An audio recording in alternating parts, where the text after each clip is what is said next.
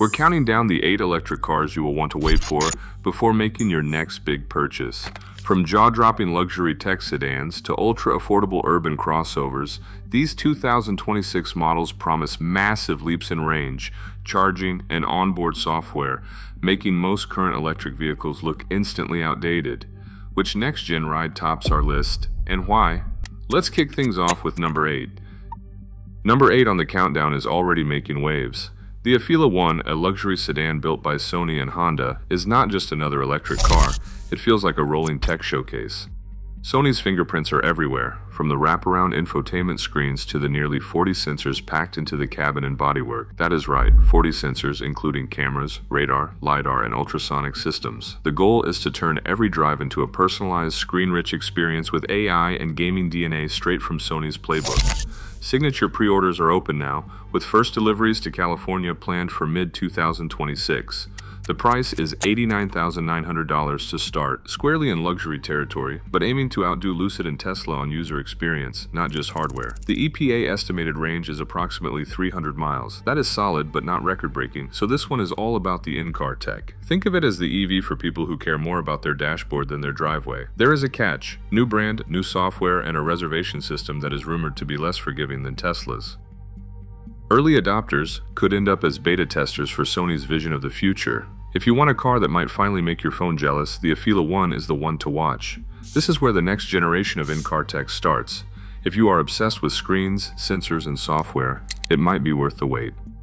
Number 7 on the list is the Volvo EX60, Volvo's first mid-size premium EV built on the all-new SPA3 platform. The official reveal is locked in for January 21, 2026, with production set to kick off in the first half of the year at the Torslanda plant in Sweden. What is under the skin is what matters most. SPA3 brings an 800-volt backbone, a major leap from Volvo's previous EVs. That means less heat, thinner cables, and most importantly, for road trippers, much faster charging. Volvo is targeting a peak charge rate close to 360 kilowatts, putting it in the same league as the fastest charging EVs on the market. But this is not just about speed at the plug.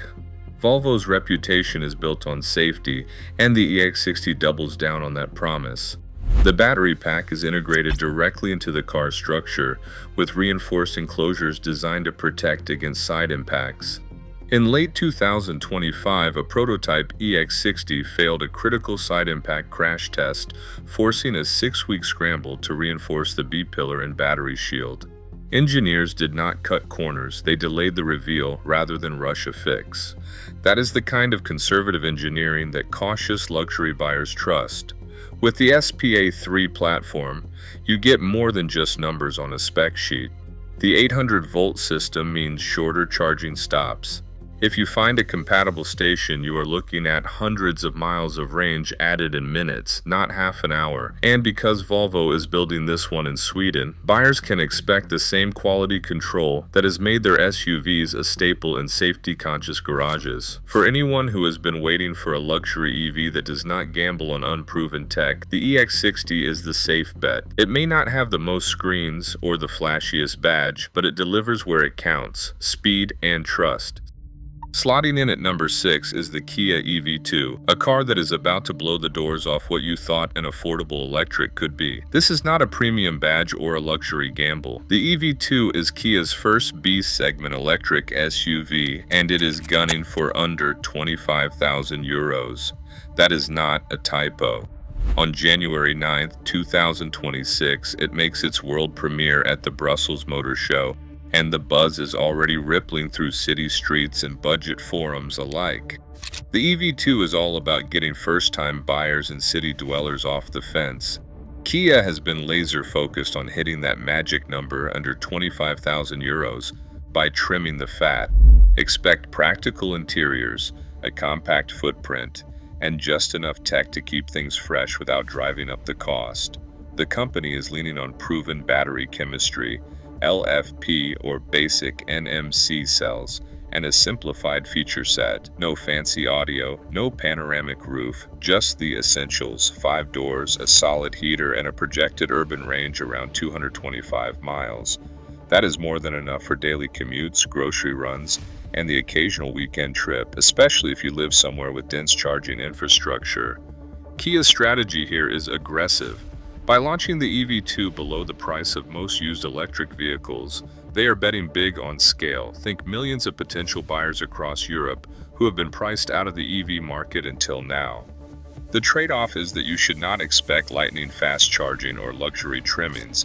The EV2 will likely max out at 100 to 150 kilowatts direct current fast charging, and some advanced driver assists will be optional or left out entirely. But for shoppers who just want a clean, modern car that will not break the bank, this is the one to watch. There is a reason this car lands in the middle of our list. It is not about specs that make headlines, it is about dropping the cost of entry so low that the EV2 could become the first electric for an entire new generation of drivers. That is a game changer for the mass market, and it is exactly why waiting for 2026 makes sense if you are on a budget. Number 5 on the countdown is the BMW iX3, and this is where the numbers start to get wild. BMW is targeting around 400 miles of range on a single charge in US testing, right in the territory of the Tesla Model Y, but with a twist. The new Neue Klasse platform underneath the iX3 is not just about stretching miles, it is about charging speed that could make pit stops almost fun. BMW claims a peak DC fast charging rate of 400 kilowatts. That adds roughly 200 to 230 miles of range in about 10 minutes if you find a charger beefy enough to deliver it. The battery pack uses a new cylindrical cell design with a usable capacity just shy of 109 kilowatt hours and the dual motor setup cranks out about 463 horsepower. But here's the asterisk, those 400 kilowatt numbers look great on the brochure, but real world charging depends on the whole curve, not just the one second peak. Battery temperature, state of charge, and charger congestion can all pull that number down.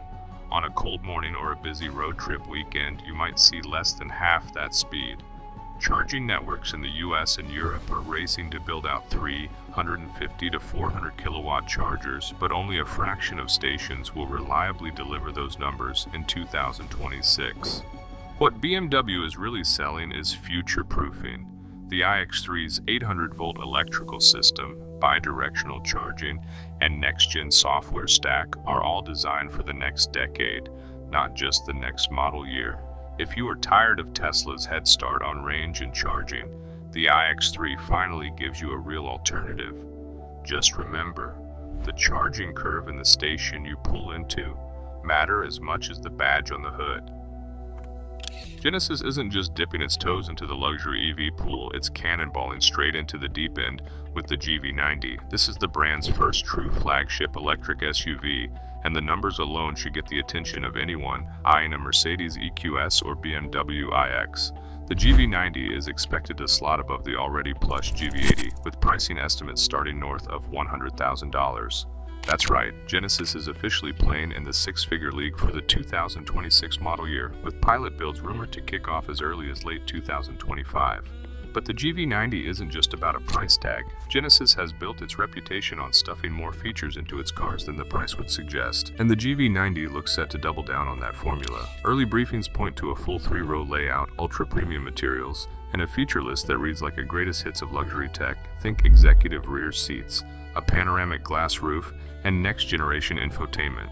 Expect a full suite of advanced driver assistance features, including hands-off highway cruising and AI-powered parking. The cabin is rumored to rival the best from Europe, with a focus on quiet, comfort, and seamless digital integration. Under the skin, the GV90 is expected to ride on an 800-volt platform, giving it rapid charging credentials to match its German rivals. While final EPA range numbers are still under wraps, Genesis is aiming for competitive figures in the 300 miles plus club. The real story, though, is value. Genesis has a habit of undercutting the Germans on price while over-delivering on features, and if the GV90 lands with all the rumored tech and refinement, it could force BMW and Mercedes to rethink what buyers expect for six figures. For top-tier shoppers, the GV90 is a reason to pause before locking in that next luxury SUV. It's not just about keeping up with the Joneses, it's about getting more for your money without sacrificing style or substance substance. If you're waiting for a luxury EV that can go toe-to-toe -to -toe with the old guard and still feel fresh, the GV90 might be the best power move of 2026. Sliding into the bronze spot is the Mercedes-Benz CLA EV, and this is where flagship tech finally gets democratized. Mercedes is not just shrinking its EV lineup, it is distilling everything that made the EQS a software powerhouse and packing it into a compact, more affordable sedan. The headline here is the battery, roughly 85 kilowatt hours of usable capacity, giving the CLA EV a manufacturer teased range of about 395 miles on a single charge. That is not a typo, nearly 400 miles in a car that is easier to park than an S-Class. But the real flex is not just the battery, it is the MBUX AI suite straight from the top shelf. Mercedes is loading the CLA EV with a next generation interface that learns your routines, responds to natural voice commands, and gets smarter with every OTA update. This is not the clunky, laggy infotainment you are used to. Think AI driven navigation that reroutes around traffic before you even ask and a digital assistant that actually understands context. Charging speed is another ace up its sleeve. The CLA EV rides on the new MMA platform designed from the ground up for 800 volt architecture.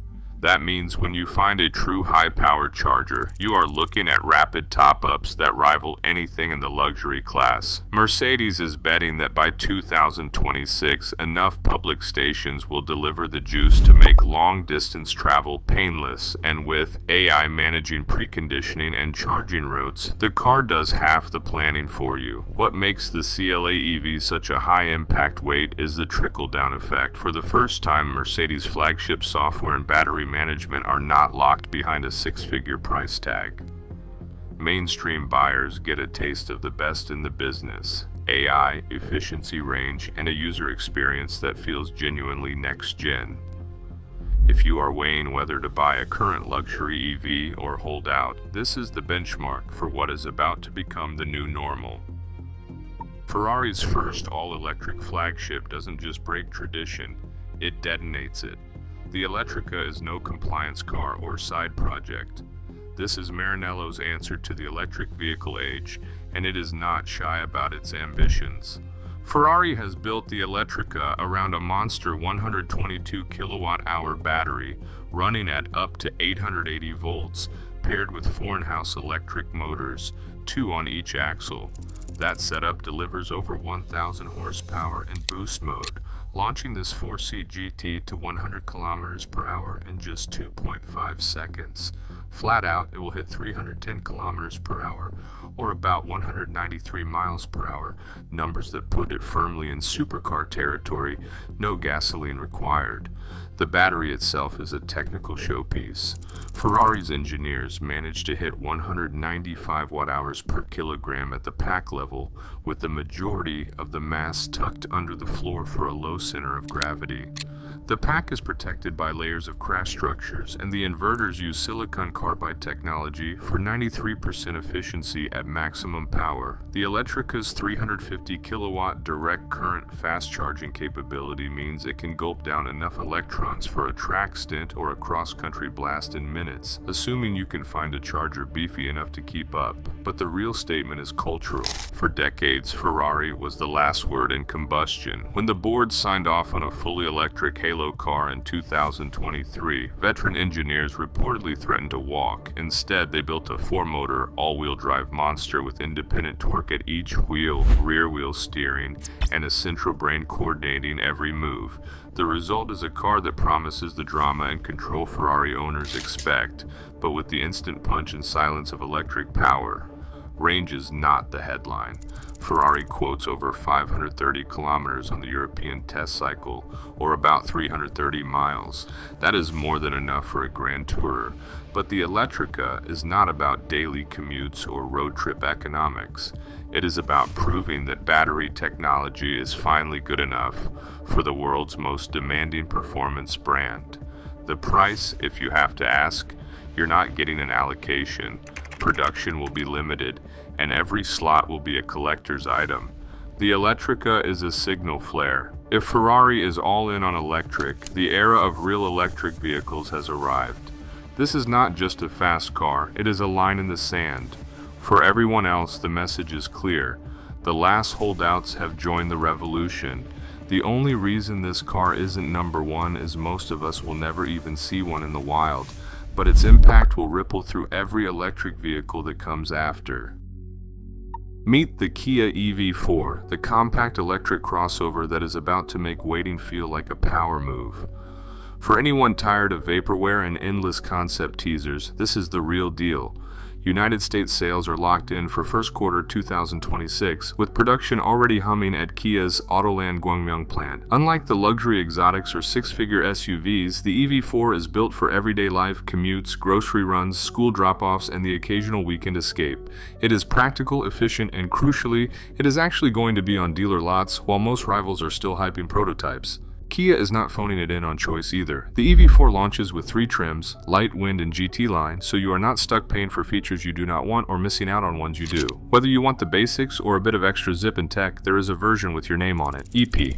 A estimated range targets sit in the 250 to 300 mile zone, which means you can knock out a week's worth of errands or a solid road trip before thinking about charging. And when you do need a top up, the EV4's 800 volt platform lets it hit up to 175 kilowatts on a DC fast charger. That is good for adding a couple hundred miles in about 20 minutes, assuming the station delivers. No, it is not a 400 mile monster, but it is right in the sweet spot for most real world drivers, and it will not keep you waiting at the plug. The real headline here is accessibility. The EV4 is not chasing headlines with wild acceleration or luxury gimmicks. It is about giving mainstream buyers a no excuses electric car that just works. You get a roomy interior with smart storage, a tech setup that does not require a PhD to use, and a design that feels modern without screaming for attention. It is the kind of car you can recommend to your neighbor, your parents, or your best friend who is finally ready to ditch gas but does not want to gamble on something unproven. This is why the EV4 lands at number one. It is the first of the next generation of EVs that is actually within reach for a huge slice of the market.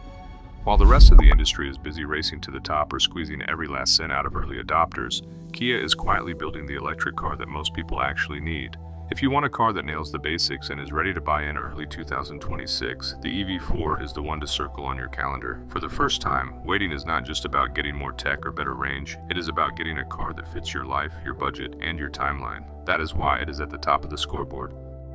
Across all eight entries, one truth stands out. 2026 is not just about better electric vehicles, it is a generational leap in tech, charging, and value across every segment. This wave resets expectations, making it smarter to wait than to settle.